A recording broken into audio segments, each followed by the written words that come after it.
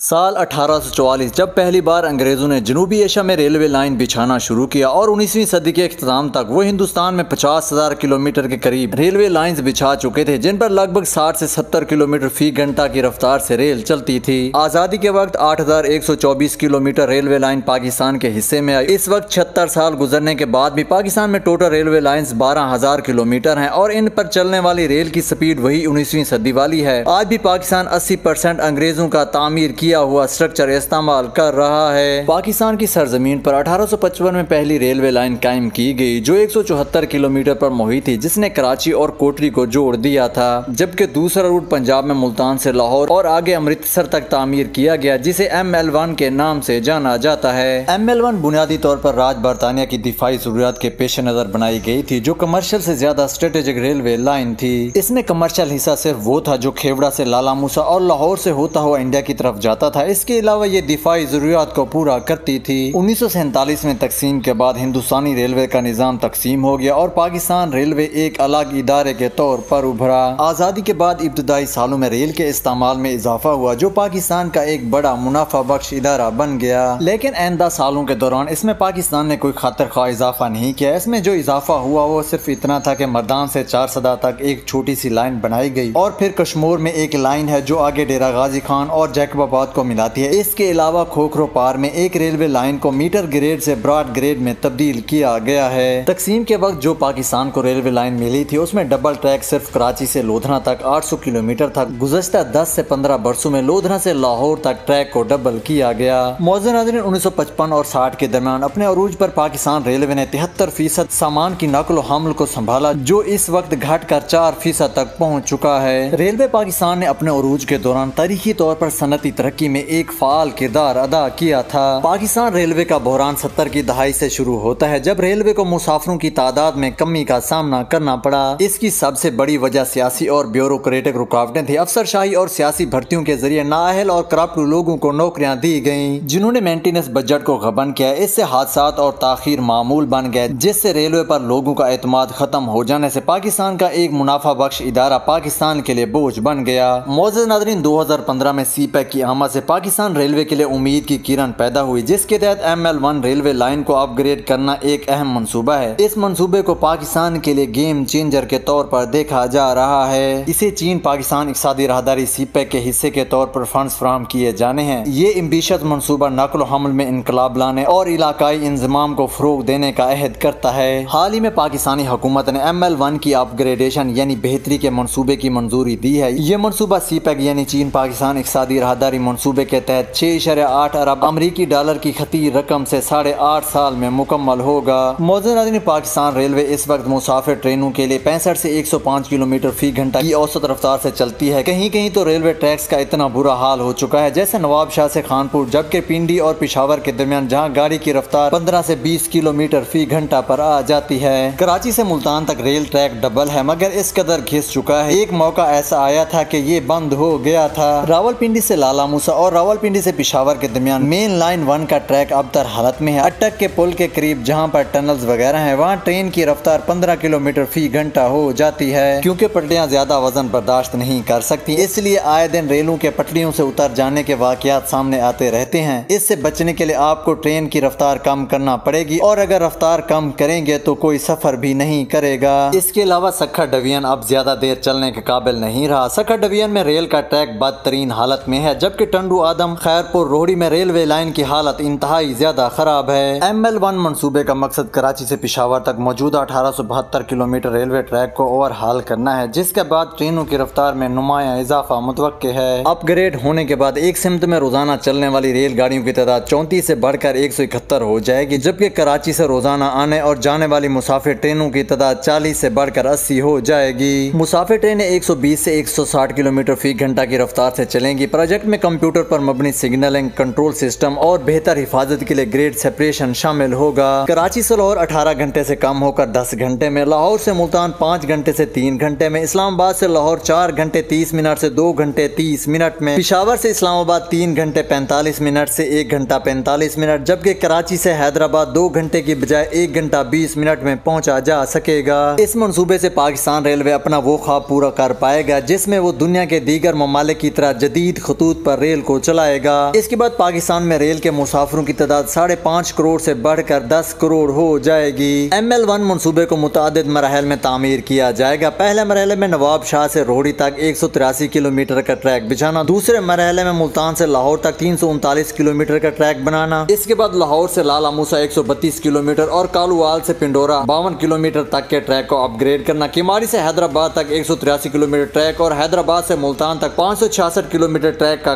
Carpet بنایا جائے گا۔ اگلے مرحلے میں لالا موسا سے راول پنڈی تک ایک سو پانچ کلو میٹر ٹریک اور راول پنڈی سے پشاور تک ایک سو چوہتر کلو میٹر کا ٹریک مکمل کیا جائے گا۔ موجودہ دن پاکستان ریلوے ایک عمر رسیدہ ریل نیٹ ورک بن چکا ہے۔ بہت سی پٹریوں اور پلوں کو تقسیم سے پہلے اچھی طرح سے تعمیر کیا گیا تھا اور اب یہ اپنی مطلوبہ عمر سے زیادہ گزار چکی ہیں۔ تقریباً تیئیس سو کلو میٹر کا ٹریک اور بریجز اوور ایج کا شکار ہیں۔ پاکستان کے زیادہ تر پل سو سال سے زیادہ پرانے ہیں جو اب ہائی سپیڈ ٹرین کے لیے انتہائی خطرناک ہو چکے ہیں۔ ایم ایل ون منصوبے کے تحت اس ٹریک پر آنے والے تمام بریجز کو ریپلیس اور ریلوے لائن کے نیچے والی روڈ کو دوبارہ تعمیر کیا جائے گا۔ کیونکہ اس ٹائم پر جو مٹیریل استعمال کیا گیا تھا، وہ اس وقت سپیڈ کے معیار پر پورا نہیں اترتا۔ ایم ایل ون کا مکمل ٹریک جوڑوں سے پاک ہوگا یعنی جھٹکے اور شور محسوس نہیں ہوں گے۔ ایم ایل ون پر چھ سو پینسٹھ لیول کراسنگ یا پھاٹک موجود ہیں، جنہیں انڈر پاس اور پلوں کی مدد سے ختم کر دیا جائے گا۔ ریل کے ٹریک کے ساتھ ساتھ فینسنگ کی جائے گی اور گنجان آباد علاقوں میں یہ کنکریٹ کی دیواروں پر مشتمل ہوگی۔ موزن اگر آپ اس وقت پاکستان میں ٹرین پر سفر کریں گے تو جس پریشانی کا آپ کو سامنا کرنا پڑتا ہے وہ انتظار کی کوفت ہے۔ جس اسٹیشن پر آپ انتظار کر رہے ہیں آپ کو یہ معلوم بھی نہیں ہوتا کہ گاڑی کس وقت آئے گی یا آئے گی بھی یا نہیں۔ ریلوے اسٹیشن پر کوئی الیکٹرانک نظام موجود نہیں ہے جس سے پتہ چل سکے کہ گاڑی کہاں پہنچ چکی ہے یا اس میں تاخیر کی کیا وجہ ہے۔ اور اگر پہنچ بھی گئی تو آپ پاکستان کے خوش قسمت ترین انسان ہوں گے کہ آپ کی ٹرین وقت پر نکل پڑے۔ اس منصوبے کے تحت جو بنیادی بڑی تبدیلی رونما ہوگی، وہ مواصلات کا نظام ہے۔ پاکستان ریل کو ٹیلی فون کی طرز پر بنے جس فرسودہ مواصلات کے نظام پر چلا رہا تھا، وہ بھی کچھ عرصے سے ختم ہو چکا ہے۔ یعنی جب تک ایک گاڑی کسی ریلوے اسٹیشن کے پینل پر نظر نہیں آ جاتی، آپ نہیں بتا سکتے کہ وہ کہاں ہے یا اس کے ساتھ کوئی حادثہ تو پیش نہیں آیا اور وہ تاخیر سے کیوں پہنچ رہی ہے۔ ایم ایل ون منصوبے میں مواصلات کے نظام کو آپٹیکل فائبر سے بدل دیا جائے گا، جس کے بعد لائیو سٹریمنگ بھی ممکن ہو پائے گی۔ ایک سینٹرل کنٹرول سسٹم لاہور میں کیم کیا جائے گا۔ مثال کے طور پر یہاں بیٹھا شخص پشاور سے نکلنے والی ٹرین کو لائیو دیکھ سکے گا۔ اس کے ساتھ بے شمار سہولیات ریل کے عملے اور مسافروں کے لیے میسر ہو سکیں گی۔ موزے نظر پاکستان ریلوے پورے ملک میں مسافروں اور کارگو دونوں کی نقل و حمل میں اہم کردار ادا کرتا ہے۔ تاہم، ریلوے کے موجودہ انفراسٹرکچر کو چیلنجز کا سامنا ہے۔ کارگو کے لیے افسردہ نظام ہونے کی وجہ سے ریلوے کو پاکستان کا صرف چار فیصد کارگو شپمنٹ مل پاتا ہے۔ ایم ایل ون منصوبے کے تحت کارگو کی صلاحیت میں اضافے کی توقع ہے۔ جدید معیار، بھاری اور تیز ٹرینوں کی اجازت دیں گے۔ جو کارگو کی صلاحیت کو بہتر بنا کر جدید ٹرانسپورٹ کے نظام کے ذریعے ٹرانزٹ ٹائمز میں کمی کر دیں گے۔ تیز ٹرینوں کا مطلب ہے بڑے شہروں کے درمیان سامان کی تیز نقل و حرکت جو تجارتی اور اقتصادی سرگرمیوں کو فروغ دے گا۔ موزن